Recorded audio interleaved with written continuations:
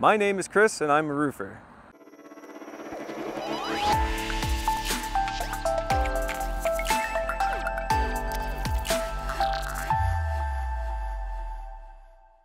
A roofer is somebody who installs shingles to protect the building and the property within it.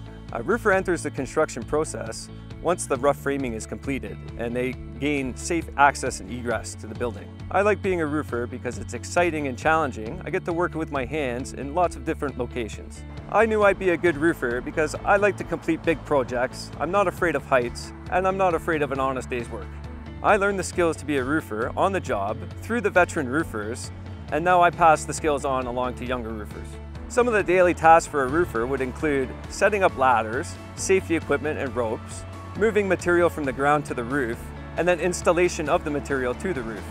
Starting out as a roofer, you could expect to make $40,000 a year. As an experienced installer, you could expect to make 50 to 60,000.